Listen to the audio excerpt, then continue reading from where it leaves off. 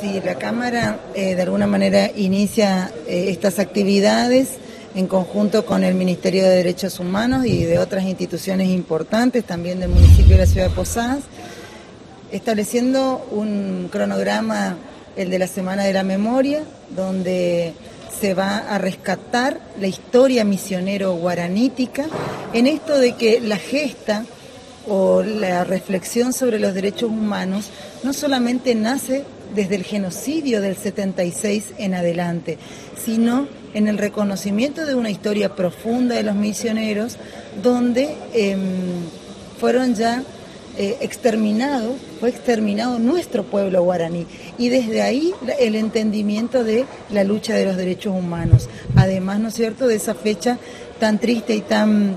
también eh, profunda del genocidio de la dictadura del 76. Por lo tanto, la Cámara abre con un trabajo conjunto multiinstitucional para reflexionar, recordar e inaugurar en esta galería de este nuevo edificio emblemático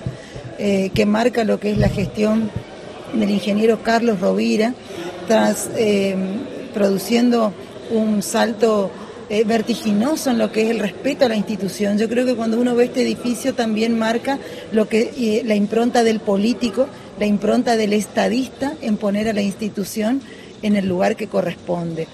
Eh, y salir de una postergación de años, no solamente en el edificio antiguo, sino en este que era un esqueleto abandonado y hoy verdaderamente la Casa del Pueblo tiene el edificio que se merece. Todo eso en el rescate de una semana especial para reflexionar. Se va a inaugurar la Galería de los Héroes Misioneros y Guaraníes, siendo eh, Andresito el primer héroe misionero guaraní que va a inaugurar esta serie de,